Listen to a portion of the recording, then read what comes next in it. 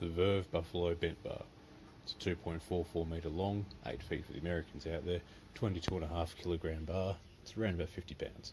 It's got 445 millimetres of loadable sleeve length. It's rated to 900 kilograms, or around about 2,000 pounds. However, it doesn't have a KPSI rating, but at a guess I'd say it's around about 205.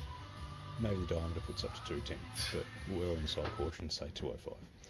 It's a 32mm diameter, as I just said, has 150mm camber in centre.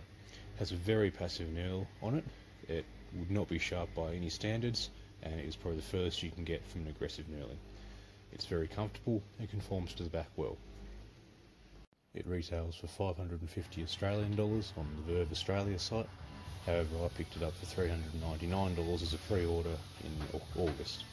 You can still pick it up on pre-order price, however the new pre-order date is October. All in all, the bar was a very good pickup in my opinion. It's well made, quality. Perhaps the knurling could do a little more aggression on it, but apart from that, I think it's an excellent bar.